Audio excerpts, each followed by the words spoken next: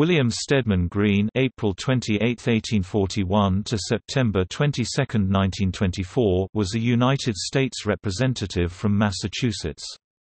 Born in Tremont, Illinois, Greene moved with his parents to Fall River, Massachusetts in 1844. He attended the public schools and engaged in the real estate and insurance business.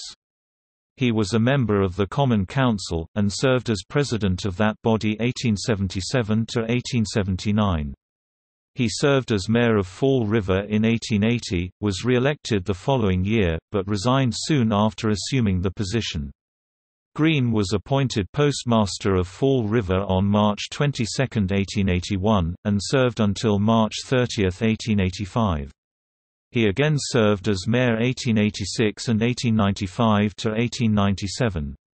He served as General Superintendent of State Prisons 1888 to 1898, was reappointed Postmaster of Fall River and served from March 9 to July 1, 1898, when he resigned to run for Congress.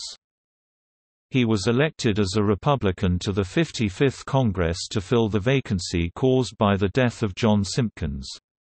He was re-elected to the 56th and to the 12 succeeding Congresses and served from May 31, 1898, until his death in Fall River on September 22, 1924.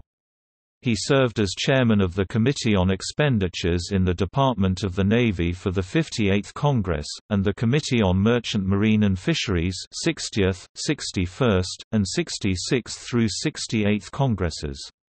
His interment was in Oak Grove Cemetery.